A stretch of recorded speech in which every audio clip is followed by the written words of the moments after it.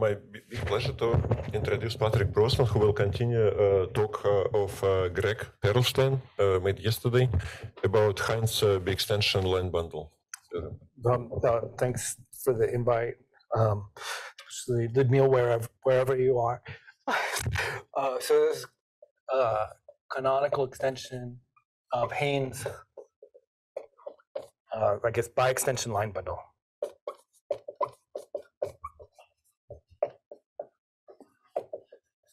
Okay. So um, I want to start like just from like the geometric setting, uh, kind of to tell you what the biextension line bundle um, is supposed to capture ge- like geometrically.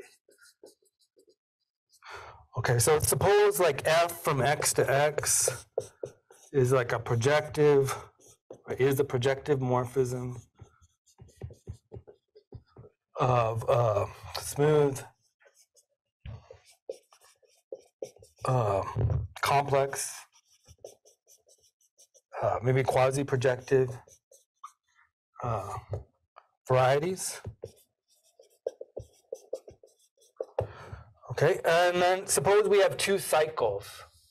So A uh, is in uh, zj of x, and B is in zk of x. So algebraic cycles. Okay, and where where the dimension of x, so I'll write it as dx is dimension of x.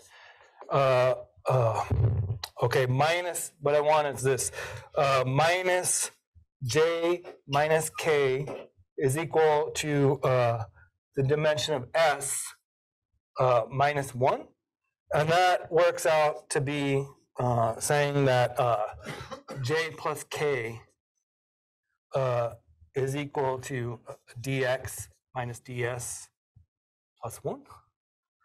Um, which is the same thing as saying that, that would just this would be the same thing. All right, the generic fiber is x eta, so it's the same thing as saying j plus k is equal to the dimension of the generic fiber minus one, minus one, plus one. Okay, where eta, x eta is the generic fiber.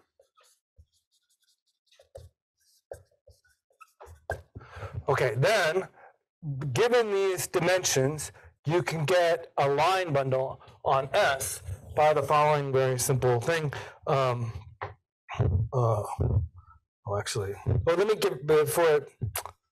Yeah. Well, yeah. So, given these examples, you can get a line bundle. So, given these dimensions, restrictions. I don't know restrictions you get a line bundle. Okay, I'm gonna call it uh, like LAB. So L equals LAB. Um, uh, well, and it, just by by this, it's uh, you just take F lower. Sorry, you just take the proper push forward of the intersection of A and B. Okay, so um, the the reason is that uh, well, well we have like the aj of x to the Chow group. Uh, well, that tensor with ak of x, that goes to aj plus k of x. And then the push forward, just by the, the push forward maps, because of these dimension restrictions, it takes it to a1 of x, and that's equal to the, uh, the Picard group, uh, a1 of s. And that in uh, that's equal to the Picard group of S. Okay.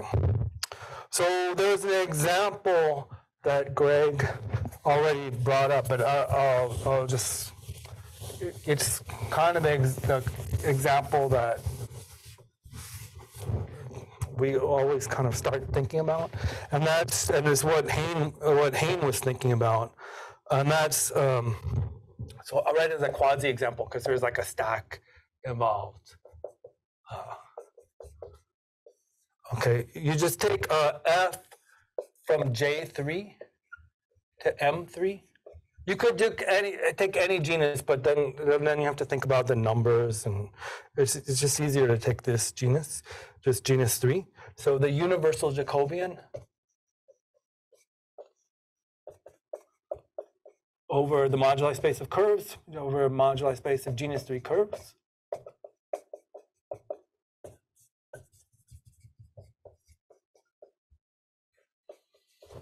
Okay, and then uh, you take A equal to, okay, they write, I got C for Ceresa. So it's a Ceresa cycle. C minus C negative. Uh, it's contained in the Jacobian of C. It's a the cycle. Okay, so that, that gives me, uh, uh, I guess that's, that's really more proper to say that it's in A1 of JC. And then, um, and then just take B, uh, any translate. Maybe generic translate. Because we don't want them to really intersect of A. I mean, uh, since we're doing things in Chow groups, it almost doesn't matter if they intersect or not. Um, okay, and then so that they're both, so A and B are in uh, A1 of J3. And then, uh, well, one plus, if I did the things right, uh, I might have, I might have done it wrong because one plus one supposed to be dx eta minus one. Did I do a little minus one? I might have made a minus, might have made a sign. Um,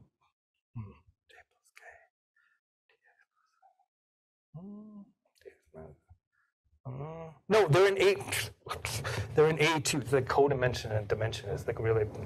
They're in A two because C is a curve, right? And it's in a threefold, so it's co-dimension two. That was like that really could have been embarrassing. And so two plus two is four, and that four. And the, the dimension of the fiber is three, and then so it's three plus one. So the numbers work out. Okay, so then there, there's like another thing you can do to kind of move this away from uh, algebraic cycles just to kind of a little bit. And that is that instead of assuming that A and B are algebraic cycles, you could assume that they're actually like classes in Deligne cohomology. Um, so you could assume instead that uh, A and B are Deligne uh, uh, cohomology classes.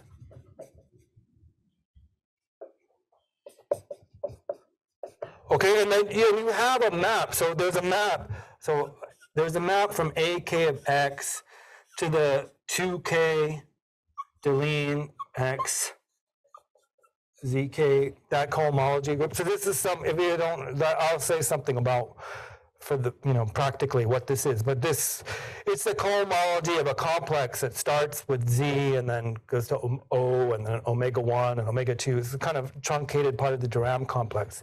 And there's a map, there's a, Deligne has a cycle class map that goes from Chow groups to this, but it, it's, um, you know, it's not an isomorphism. Uh, and this is more topological and Hodge theoretic, and this is more unknown. Uh, so, uh, but if A is in H2K Deligne of X ZK, and B is in H2J of X ZK, with uh, uh, K plus J equal D eta plus one again, uh, then um, you still have F lower star of A cup B. That winds up being in H uh, two of the base Z1 Deligne. But okay, so in general, this this thing is computable and this thing is not. But for t- 2 1, this thing actually just is the Picard group of S. So um, you again, you get a class in the Picard group. Okay.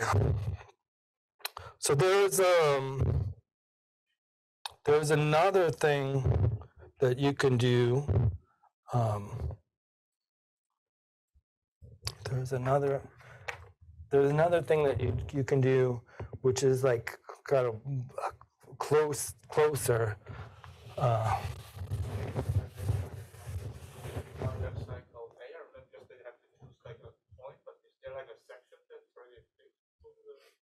you mean for the cycle C? Oh, for yeah, you should like like Greg did. Greg picked a point. Uh, uh, I called it either P or Q. So yeah, you do have to.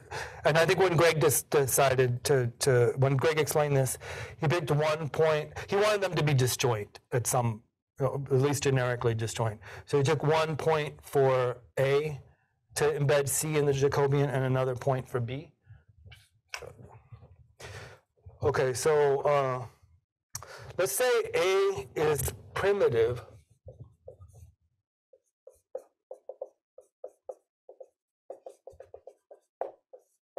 If um, if A restricted to X eta, uh, what X eta is the you know generic fiber, uh, is trivial. Just in like the normal, the I guess cohomology with rational coefficients. Okay, um, and then let's like let me make a diagram because I want to look at the place where uh, this map from x to s is smooth. So we have this x to s. That's the one we started out with. We have u. So this is like the the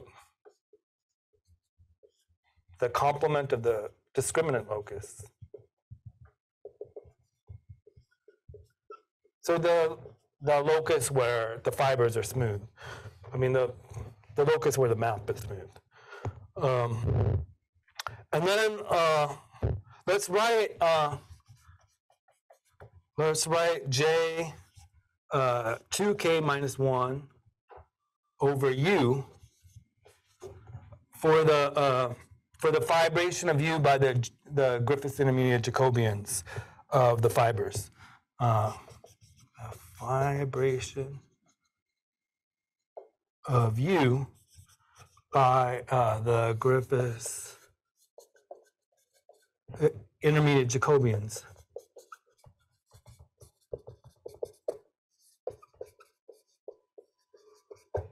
Um, so those are, uh, write down what those are. Uh,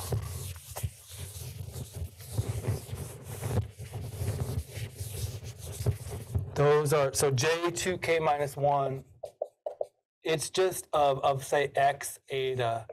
That's just h2k minus 1 of x eta c uh, mod. Okay, that's gonna go.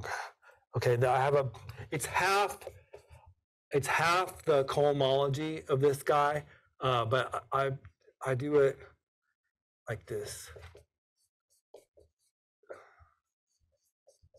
So so I put the, uh, I guess to half the cohomology would really be f k plus one if I didn't put the shift, but then that confuses me.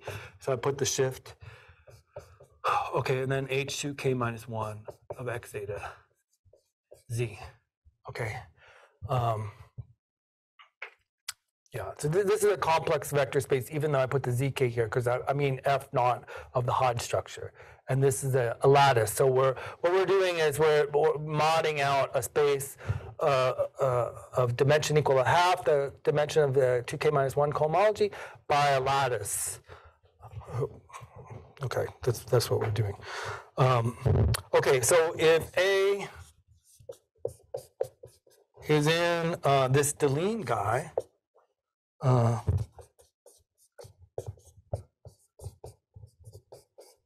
um, which is pri- primitive.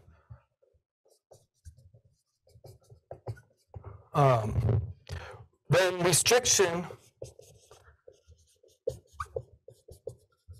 uh, to the fibers uh, gives a section uh, A from U to this 2k minus 1 intermediate Jacobian. Um, to, to this, uh, so a section of this map pi. Um, and uh, let me explain why that is, is pr- like when you see it in Deligne cohomology, it's pretty easy to see. The, the reason is that, uh, okay, there's an exact, there are two exact sequences. So H2K of X, ZK Deline. When you, so this guy is defined in terms of some complex that starts off with zk, and because of that, it maps to uh, the Ho- it actually winds up map- mapping to the Hodge classes of dimension kk of x. Okay, and then on the kernel of that map is this j2k minus 1 intermediate Jacobian for x. Okay, and this the Deligne cohomology is like functorial, so we can like map it to uh, x eta. And then this guy maps over here.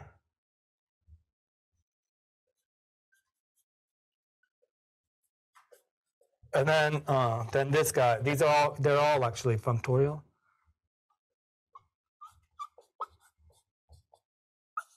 So remember x x theta is the fiber. So you see if I have a cycle A that's primitive, then it goes to zero here, so it has to go to zero here. So come somebody in there. So the image of the guy has to live in there. Okay, so from that, um, so that means that from A and B, so if A and B are both primitive, A and B are both primitive.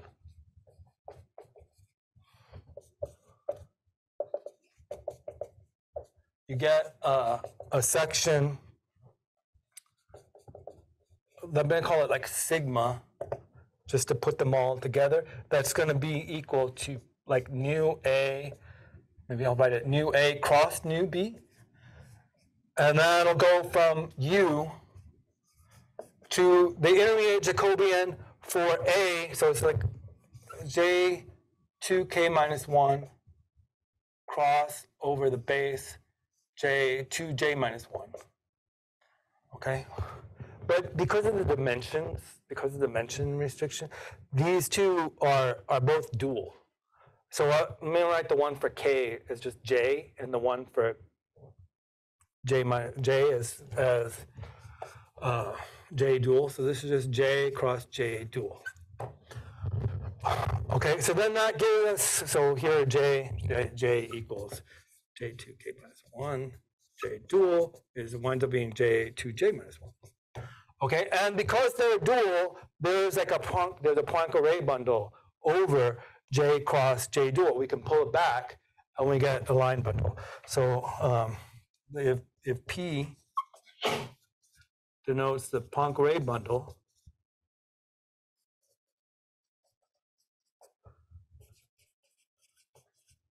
over J cross J dual, over S, then uh, pulling back uh, P to S by uh, sigma, it gives a bundle, which maybe I'll call, uh, what am I going to call it? Let me just call it F. I was going to call it B. Let's call it F A B. The, the thing is, because the cycle's name is B, so if I call it B, uh, uh, that's bad. So this FAB, it's uh, sigma upper star of the Poincare bundle. Okay, and this is the thing that uh, that Hain. I mean, we, we got. Into, I don't know if Hain was the very first person to study it, but it's. I mean, we got into it because of Hain. So this is Hain's uh, biextension line bundle. Okay, so um, one thing to point out is that he, this guy starts life, which Greg also pointed out, as an analytic line bundle. Uh, so note this FAB is an analytic line bundle.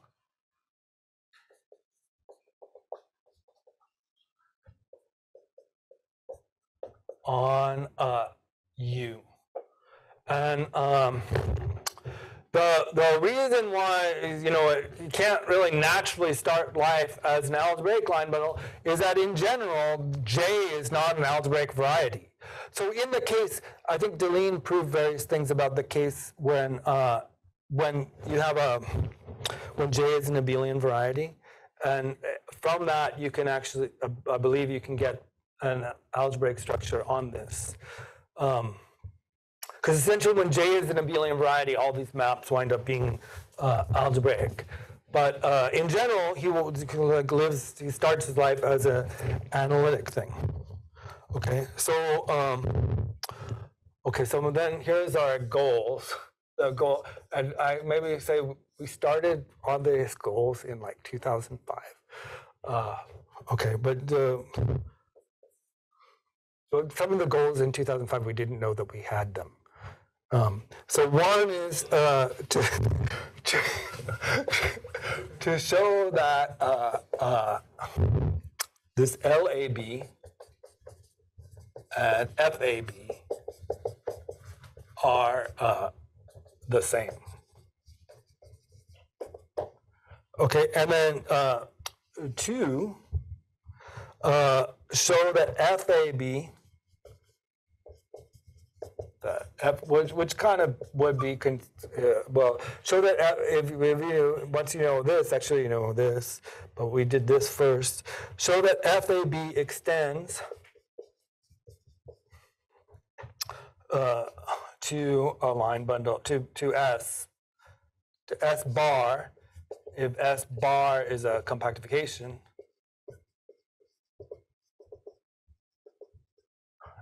of S, and that it extends uniquely uh, as a Q line bundle. Then there's a canonical choice of Q line bundle extension.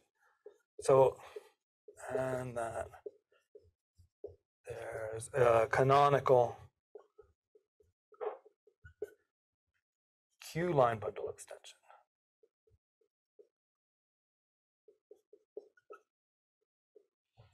And then three, which so one and two, well, no, actually two, we did several years ago. But the, the thing that was we didn't do is um, prove a formula. prove a formula. And maybe I'll say prove the obvious form. Well, there's to prove a formula for this extension. Class of the extension.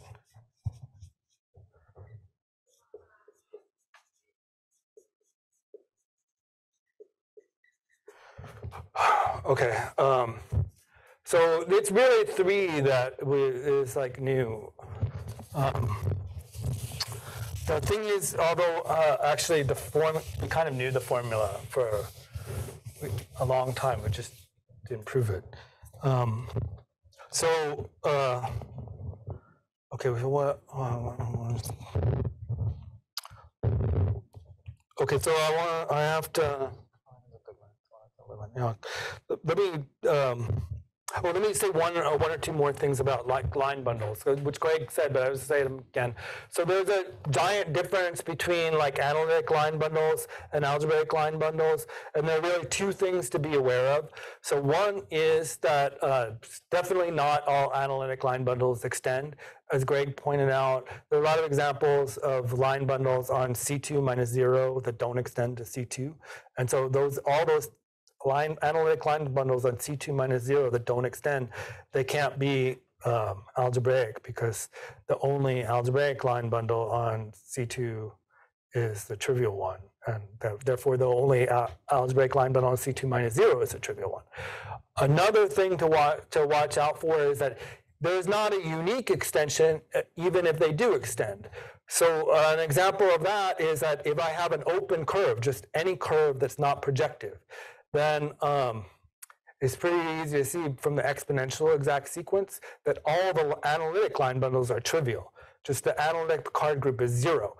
So, but you know, the algebraic Picard group is very much not zero.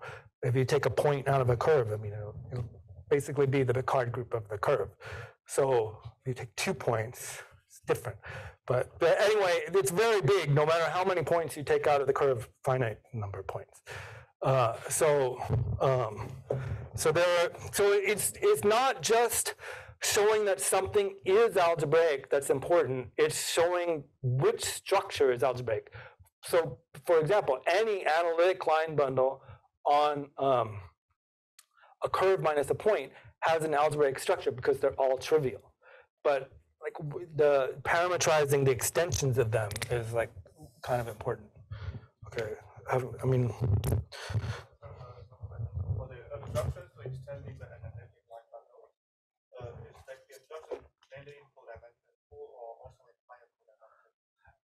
Uh, no, that, okay, there, there are people that have done things about this. I, yeah, Schiff, Schiffman has some things about this. But yeah, uh, yeah, yeah. Um, okay, so but actually, so it's important to say what kind of extension we want. Uh, Greg basically said it, but uh, maybe say something more about this. Um, and anyway, it's it's a, a matter of how we work with uh, uh, how we work with um, normal functions, the maps into uh, Griffiths' intermediate Jacobians. Okay, so uh, I just remind you something also Greg was talking about. So we always fix so. Suppose h is a weight minus one uh, Hodge structure. So the reason, every since you can do Tate twists, any odd weight thing can be shifted to weight minus one, and it's just way easier to always think of one weight. So that's why, why it's minus one and not one. It's not that important, but, but um, okay. So Carlson proved this theorem, um, and it's so actually, Carlson's theorem is more general, and I'm, I'm even going to use the more general thing. But Carlson proved that the Griffiths intermediate Jacobian is, uh, as a group, it's Ext1 in the category of mixed Hodge structures of Z by H. So so actually, Carlson considered any mixed Hodge structure, the weights had to be, I think, less than or equal to minus one if for this picture. Um, okay, you can say the same can say the same uh, for variations. Okay. Um, so uh, if, um, if if if we have this picture, okay, so we have x to s, and then u contained in here, and then xu. Okay, and then we have this j j over u j2k minus 1. Okay, um, then um, the, the normal functions, the sections, the sec, let me kind of, the sections of j to u, uh, which um, satisfy Griffiths' transversality. We'll leave it vague which satisfy Griffiths' transversality.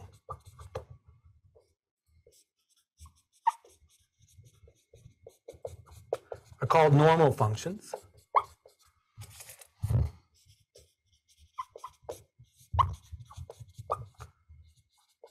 And the group of them is also an Ext group. And the group of these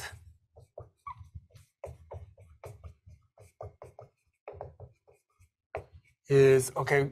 So I, I like this Saito notation. He writes it like this: NFH, uh, and it's it just winds up being the X one in the category of variations of mixed Hodge structure of Z by H. Okay. Um, now, what Saito also, oh yeah, let me put. So, so actually, we don't really need these cycles. We just need the sections of. Uh, we just need the normal functions to define this line bundle. So let me kind of let me let me write that down. So given.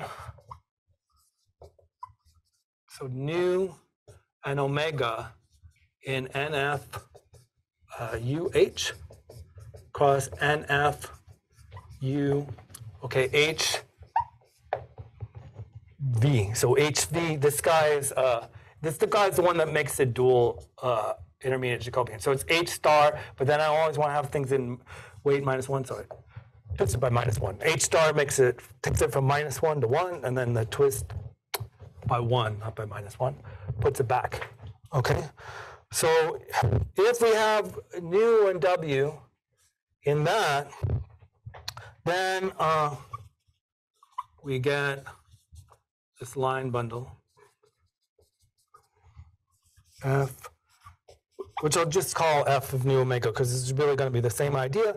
It's going to be uh, sigma upper star of p, where sigma is equal to just nu omega, and that goes uh, from u to just j j. So this is the same thing. It's just I don't need the cycles or even the classes in Deligne cohomology anymore. Just use the normal functions. Okay, now. Um,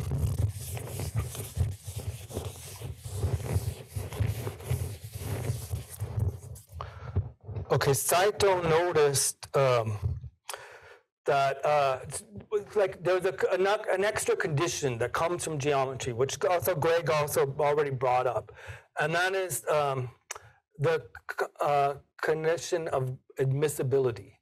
So admissibility is a condition on variations of Hodge structure or mixed Hodge structure, which is automatic for variations of Hodge structure, and it follows from Schmid's theorems.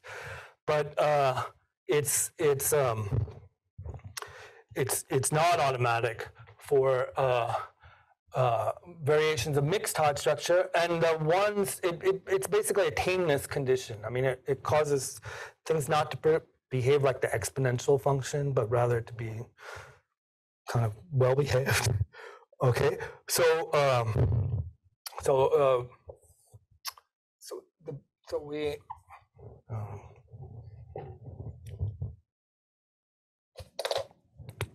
so normal functions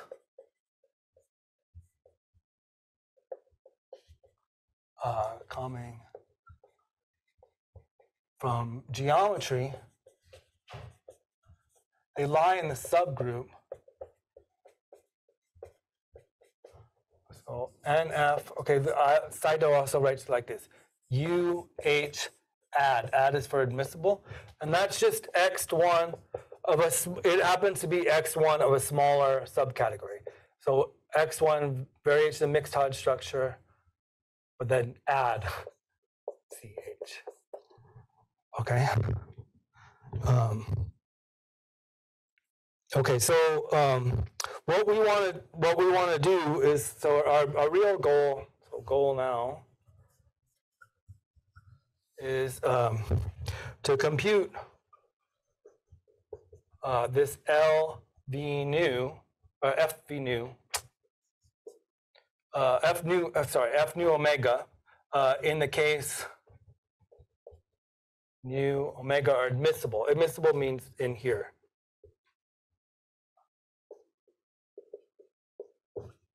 Okay, as well as its extension to S, as well as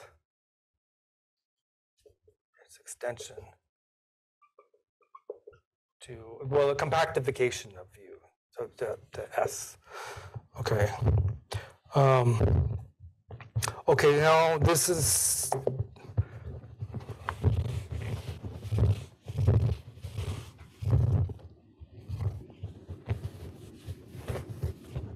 Okay, so to, uh, so I want to explain what that extension is, and uh, in order to explain it, I have to. I, I should go back to uh, something. Also, Greg said was Greg said what the sections of this are over U. So, and that's really something that's mm, like Hain uh, pointed out. So we have. So the the sections, the non-vanishing sections.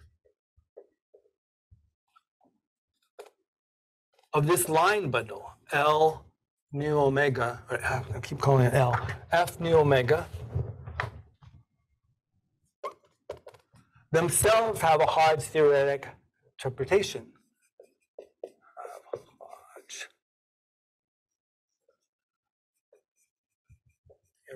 Theoretic interpretation.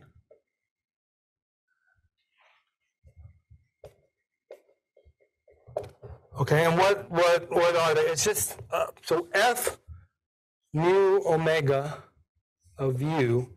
So the, the non-vanishing guys. So uh, I'll write a star for the non-vanishing ones. So it's the set of variations of mixed Hodge structure, MHS, um, on U. Uh, so let's call them V on U. Uh, together with isomorphisms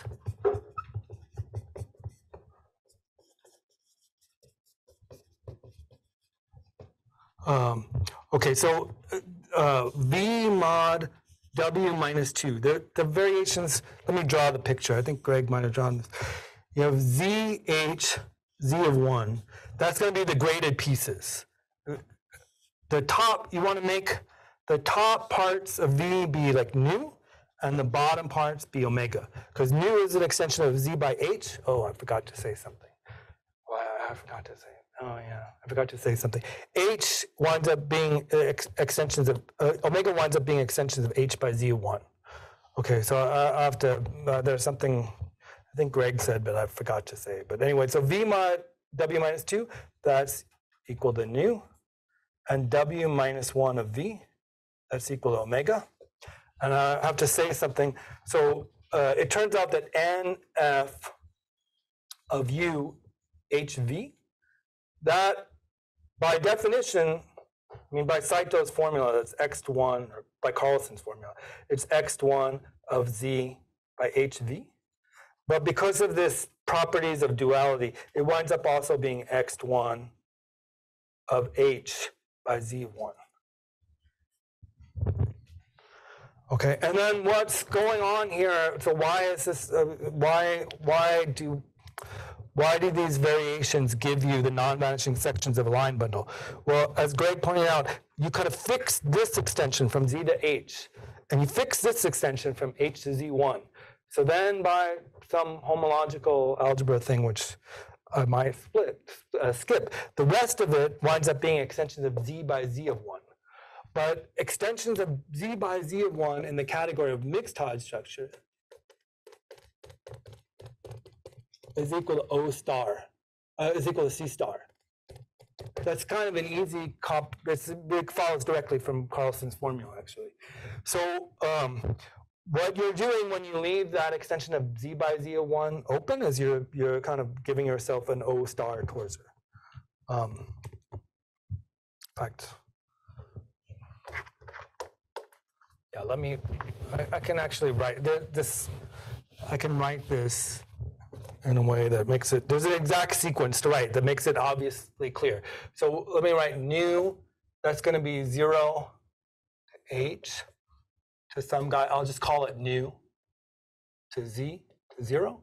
And omega, that's going to be 0 to z1 to omega h to 0. These are the two normal functions.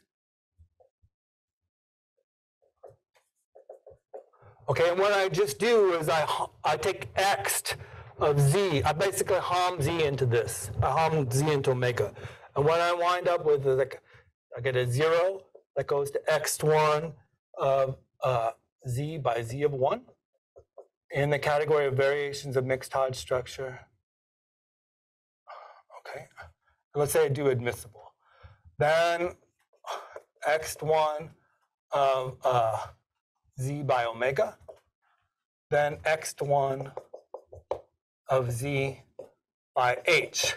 And see, uh, nu sits in here. Okay, and this guy, if I do admissible variations, it winds up being OU star, but meromorphic. So it turns out that the admissible variations, they all wind up, I didn't put admissible there, the x would just be all analytic function, non-vanishing analytic functions on u. But if I put admissible there, it like creates some makes forces them to be meromorphic along the boundary. Okay, and then so what is a torsor? Let's just call this like I don't know pi or p. It's just p inverse of nu. So if you think about it, the set of all these v's are just the people in here that map down to nu. That's what it winds up being. And then that's a torsor under this because I don't I don't know if it's called a zero or one, but this this group injects into there. Okay. Okay, well, actually, okay, I, I lie a little bit because just knowing this, you don't actually know that you have a torsor. You know that you have what's called a pseudo torsor. A pseudo torsor is a torsor, except this one might be empty, could be empty, right? There's nothing that says this could be empty. What wouldn't be wouldn't be empty? There might not be anything that hits this, right? So uh, there might, I mean, not, yeah, there might not be. This guy might not be in the image, okay? But then we have a theorem um, of me and Greg from uh, maybe it was around 2018 that it appeared.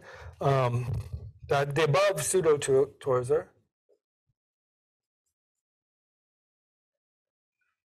uh, for OU star meromorphic is actually a torsor. Okay, so what does that really mean? That means that there's like an open covering of S where the on each set in the open covering, this thing is non-empty.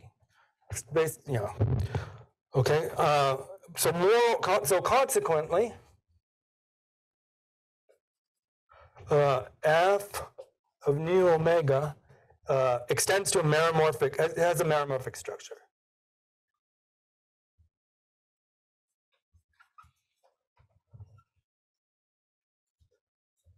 Okay, and extends to a line bundle on S.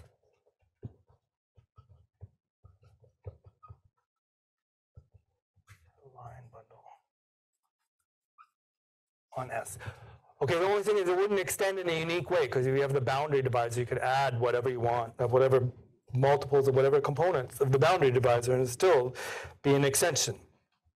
So moreover, it comes, so moreover, okay, maybe I'll leave this out of the theorem and I'll, and I'll say something else. So this, this thing f nu omega, it also comes with a metric. So f nu omega comes with a metric that we call, that really, that Hain called the height, I think Hain called it the height metric. And it's, I mean, the metric is really, I think, what got Hain thinking about it.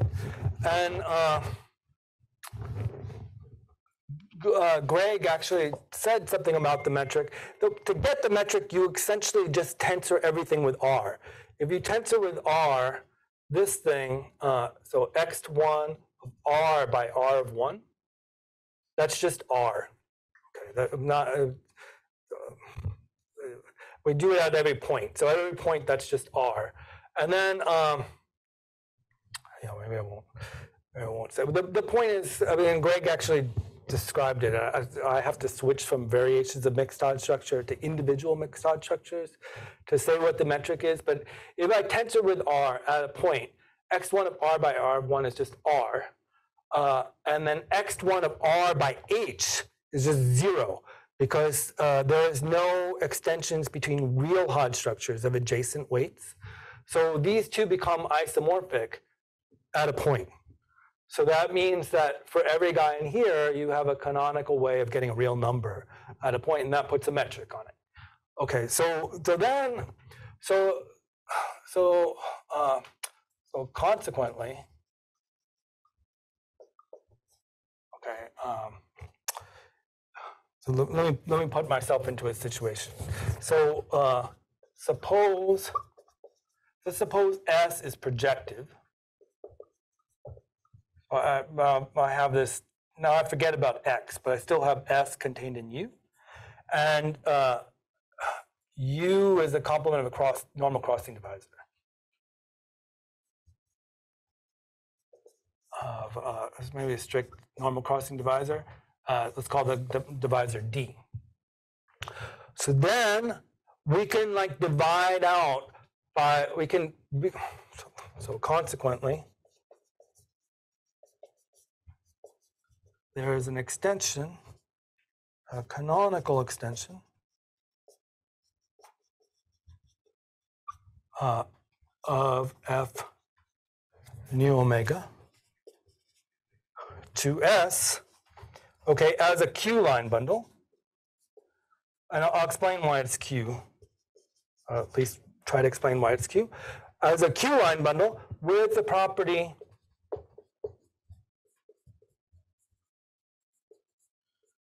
that um, uh, th- uh, for any point in the smooth locus of divisor, there's a section whose height is bounded, a non-vanishing section whose height is bounded. Uh, so for any p in the smooth locus of the normal crossing divisor, so the part where they're not intersecting each other, there's a, a non-vanishing section.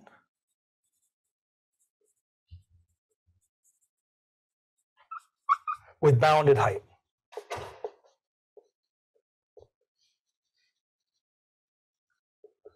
Okay, and I have to say YQ, I mean YQ. So the, the point is that the heights, um, we know that the, what the asymptotics of the heights are, and they basically look like some rational, if you take the log of things, it looks like some rational number times log of a parameter.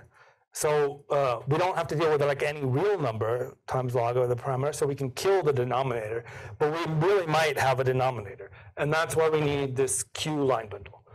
Okay, and uh, let me give it a name. So um, it's canonical to S as a Q line, but let's call this guy F bar of nu omega. Okay, and what I want to tell you is a formula for what this guy is. Um, so um, there's another theorem that I should tell you before. Uh, so I want a formula. Formula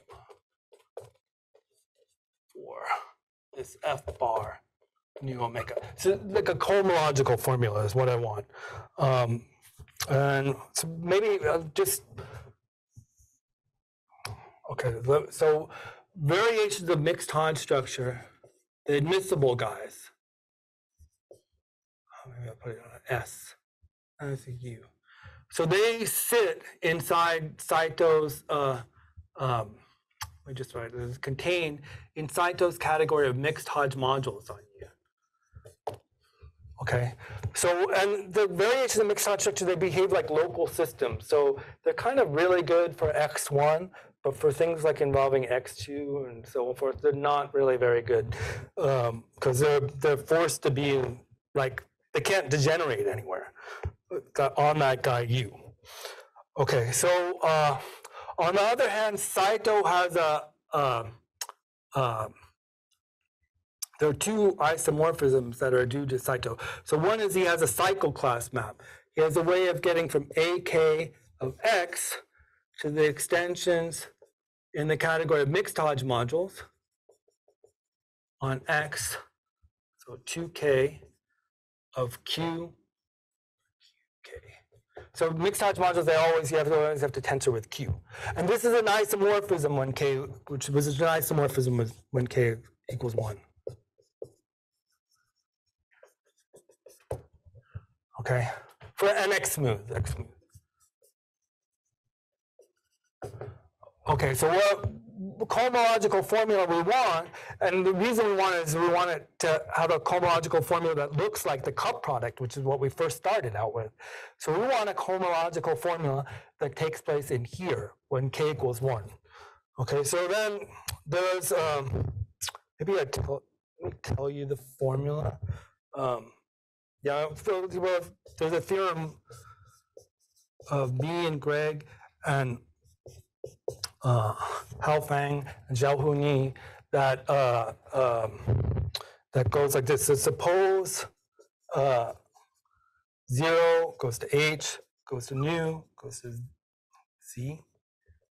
Zero is an admissible variation. Oh, how many minutes does that mean I have? More. Okay, because I'm almost done. I'm- Admissible variation on u. On u. Then um, I can apply the uh, the let's say J. Then the IC sheaves. So, so we get an extension.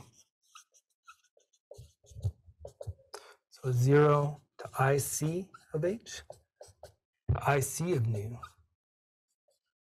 to IC of H. So the IC of Z is just Z uh, shifted by shifted by D. dimension of U. Okay, let me tell you what's going on here. So H is a variation on U. IC takes it to something on S. Uh, this should be DS maybe. Okay, and but it, since H might degenerate, the IC sheaf has to take it to something that really is a mixed Hodge module. It doesn't, it's not smooth.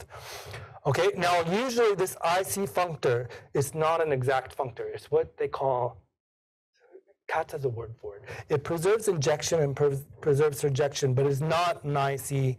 Uh, um, it's not an exact functor. But when H is weight minus one, which I'm assuming, uh, there's kind of no room for it not to be exact. There's like a weight argument. That means there's no room not to be exact. So you get from a variation uh, from a normal function nu, you get an extension, and I should write q here. You get an extension in, in the category of mixed Hodge modules of q by ic of h. Okay, and then here's the formula, which is like the obvious formula.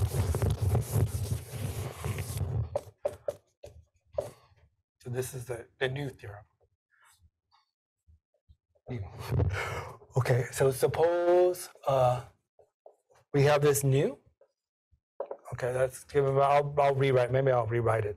Zero to h to nu to z zero, and omega is zero z1 to omega to h to zero.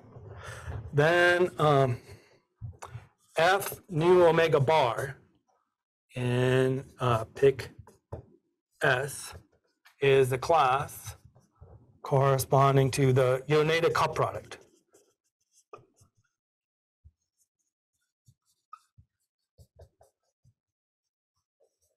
Okay, so of these two guys, but in mixed Hodge modules. So you, you take um, IC of omega uh, and you compose that with IC of nu. Right, so IC omega, that guy's in uh, X in the category of mixed Hodge modules of uh, Q by IC of H. And this guy is in the category of mixed Hodge modules. This is Ext1.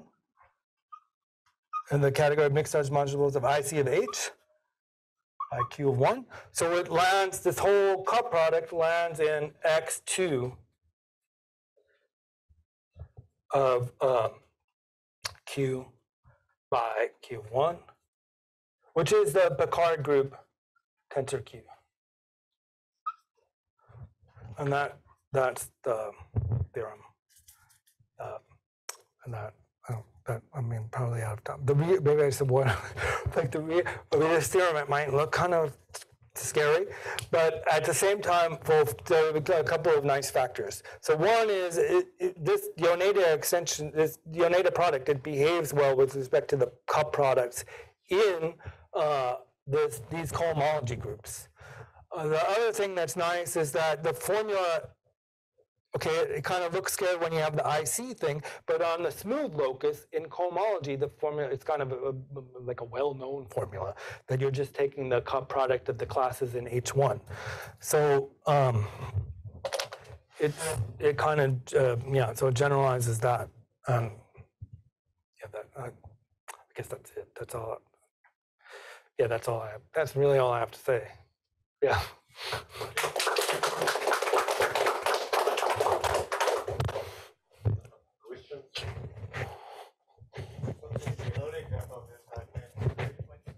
Yeah.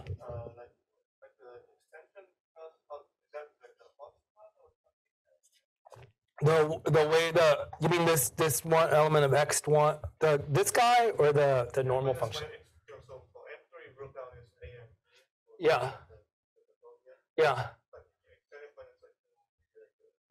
To M3 uh, M3 bar, yeah, yeah, yeah. So then, uh, okay, Hain wrote a paper about what that extension is, uh, and uh, we might have. And knowing that extension, by the way, is part of the reason that he got into it.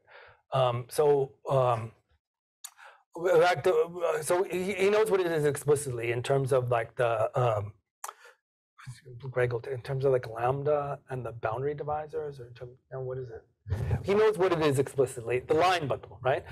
Part of the reason that he wanted to study it and that where it got us into it is that um, he wanted to have a met. He wanted the this height metric. He wanted to show that that height metric had, let's say, like favorable uh, um, curvature properties. Basically, uh, that it should be pluri subharmonic on the interior. And then he noticed that it has uh, that the asymptotics, the asymptotics are in very good control on the locus of compact curve, curves of compact type. So curves where the Jacobian is actually uh, a abelian variety. But on the uh, intersection of del- delta naught is the locus of uh, just nodal g minus one curves. On, on the intersection of that with itself, the asymptotics of the metric don't look good. And uh, so, so then that's actually what got it. Studying the asymptotics of the metric along uh, the intersection of delta naught with itself is what got us into the, this whole thing. So that, yeah. maybe we should say for Hain, right, he was trying to compare like the metric on determinate Hodge bundles with the metric that he thinks out of this, right? Kind of like- You know, the Yeah, oh, They were both like eight plus four times like the determinate Hodge bundle, right? Yeah, that, Yeah, Yeah, that's right. Yeah, the one, the what Greg is saying is that I mean, there are certain cases where you could use this because you get a metrized line bundle. So in cases where the Picard group is small, Z, you could try to like compare it to, or where you just know that the line bundle you have is a multiple of something else with a metric. You can try to compare the two metrics and have a function. So in the end, uh, actually, Hain was doing that. I mean, he was getting a, he was wanted to get a function on M3 and to just, I think he wanted to explicitly defi- describe that function and the asymptotics of that function. So I don't know if these comments answer your question, but but the, yeah, the I mean we also studied the as, as Greg pointed out, we wrote down a pairing on the first intersection cohomology of H at a point that tells you um, the deviation of the metric from extending. Um, but um, yeah, that